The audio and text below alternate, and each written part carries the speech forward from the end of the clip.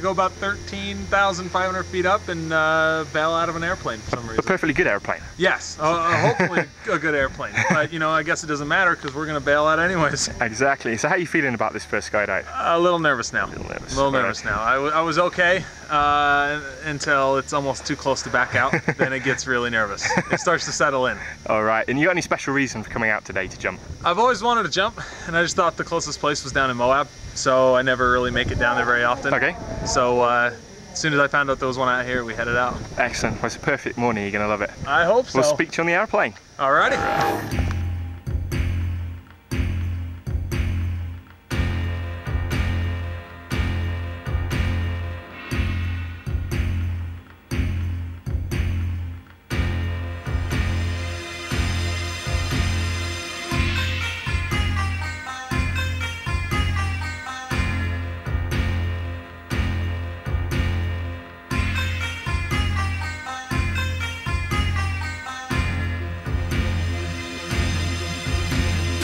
dangerous.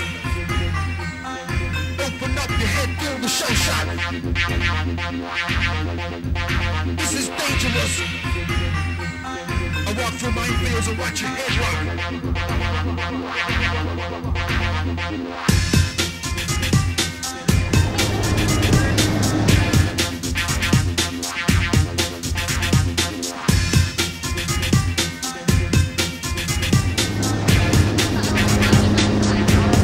Okay, Mike.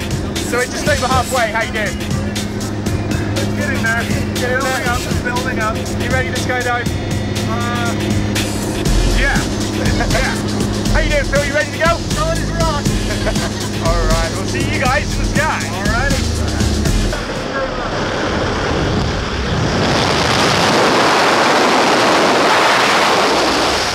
keep you alive.